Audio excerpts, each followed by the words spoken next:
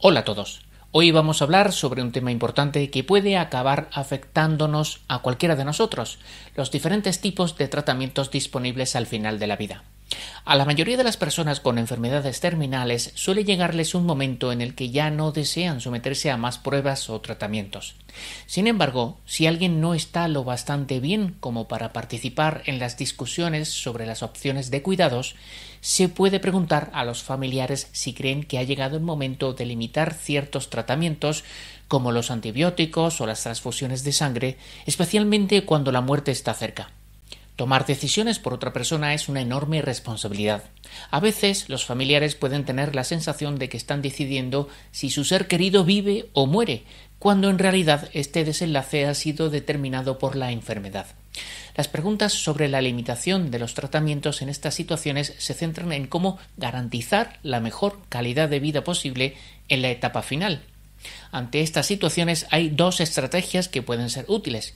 Una es ponerse en el lugar de la persona que se está muriendo y tratar de decidir cómo lo haría ella. Esto se llama juicio sustitutivo. Algunos expertos creen que esto es lo preferible. Otra estrategia, conocida como el mayor beneficio, es decidir qué sería lo mejor para la persona que se está muriendo. A veces se combina con el juicio sustitutivo. Es crucial entender las opciones disponibles para poder tomar decisiones informadas sobre la atención médica. Hay tres opciones.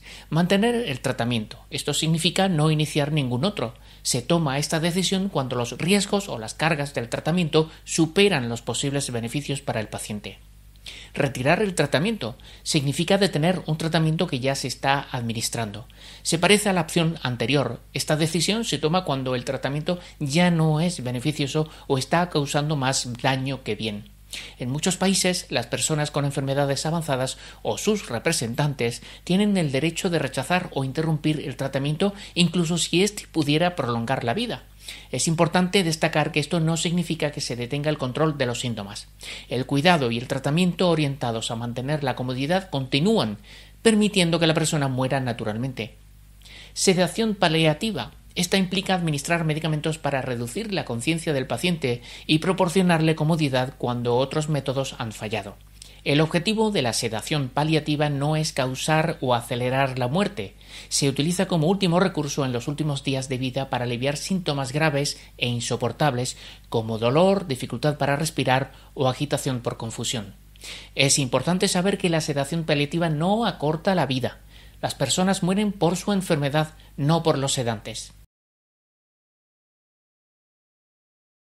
Los siguientes ejemplos ilustran situaciones donde se retira el tratamiento. Caso 1. Linda, con insuficiencia renal, decide detener la diálisis ya que no le proporciona calidad de vida. Caso 2. Jorge, con leucemia, decide detener las transfusiones porque ya no le ayudan a recuperarse. Caso 3.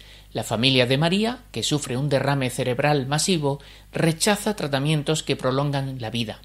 Su sobrino, como representante, decide no prolongarla artificialmente. Caso 4. Los familiares de Mabel, que sufre una demencia avanzada, deciden no colocarle una sonda de alimentación. Mabel tiene dificultades para tragar. Su hija decide volcarse en los cuidados paliativos en lugar de prolongar su vida con una sonda de alimentación. Caso 5. Jonás, que padece una insuficiencia hepática, necesita sedación para controlar su confusión y agitación. Tiene delirios. La sedación se utiliza para calmarlo y permitirle descansar cómodamente. Caso 6. Roberto, que tiene un cáncer terminal, elige la sedación para controlar el dolor mientras espera a sus hijos. La sedación se revierte temporalmente para permitirle ver a sus hijos por última vez. Es común que las personas con enfermedades terminales pierdan la capacidad de comer o beber.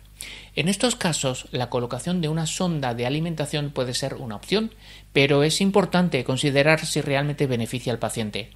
El cuerpo en etapas avanzadas de una enfermedad puede no ser capaz de utilizar los nutrientes de los alimentos, incluso si se administran a través de una sonda. La decisión de utilizar o no una sonda de alimentación debe tomarse en conjunto con el equipo médico y la familia, considerando los deseos del paciente y su calidad de vida.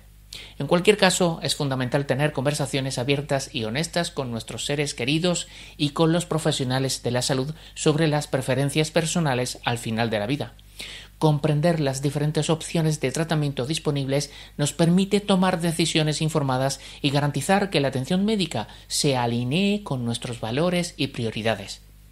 Nada más por hoy. Espero que hayas encontrado útil esta información y que vaya muy bien. Muchas gracias.